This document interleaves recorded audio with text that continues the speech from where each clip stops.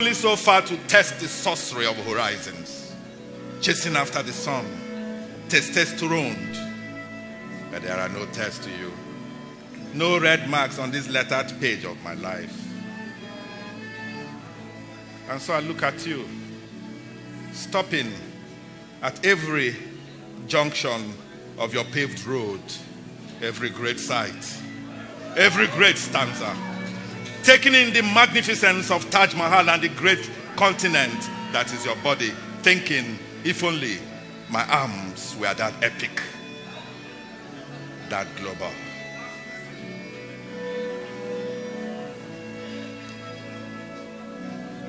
Your spells transform my dark heavens into a sealed place of engraved stars and miracles.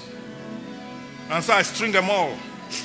Every single gem, every single moment, every single measure of you, beloved, with this poem as line in one dizzying embrace.